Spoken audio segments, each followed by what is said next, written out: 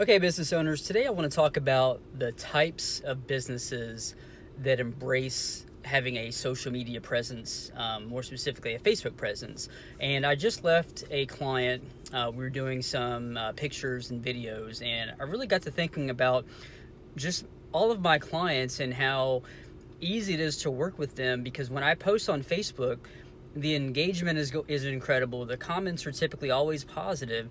And I got to thinking, that I was really lucky in the fact that I don't put out fires all day with people, you know, commenting about how poor their service is and having to put out fires on bad reviews. And so I wanted to give a quick video and just as I go went through my client list, some of the qualities that, that these businesses have, and, and first and foremost, the type of business that embraces social media is one that's uh, they're not cutting corners, they're giving a a high quality service to their customers, and this is important because when I when I post for them, you know, pictures of their work or their employees, and they're not cutting corners, then people who have received service from them, they basically give um, their stamp of approval by either commenting or liking or sharing the post.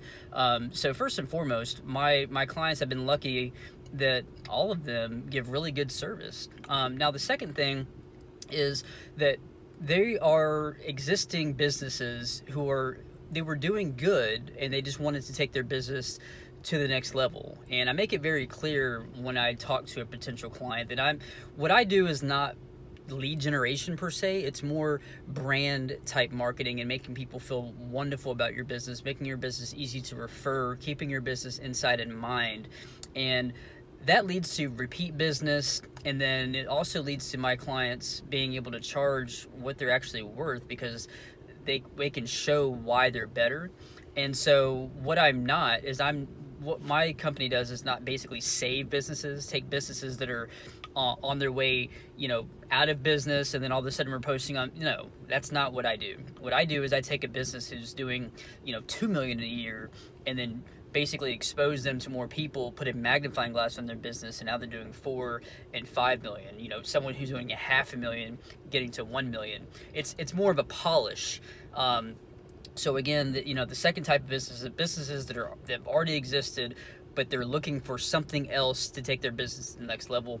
And then thirdly is uh, the type of business um, that typically comes my way is, is referred to me are um, businesses that are um, looking to meet clients where they are. Meaning today's customer, they want things that are automated. They want things, you know, they want to get an email saying when when service is there. They want to pay with a, a card either online or through Square. They don't want to write a check.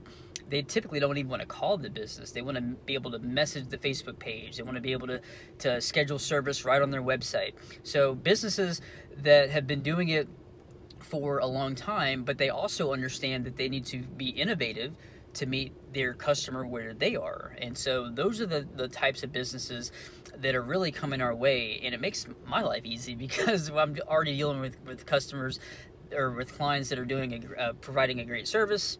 Um, they are meeting clients where they are technology wise, and then they are um, looking to take their business to the next level. They need that extra um, push that Facebook can give them. So uh, if you meet those criteria and you're not already working with someone that's helping you um, with your social media presence, I'd love to help you out. Uh, give me a call or uh, shoot me an email at mario at marketwithmario.com.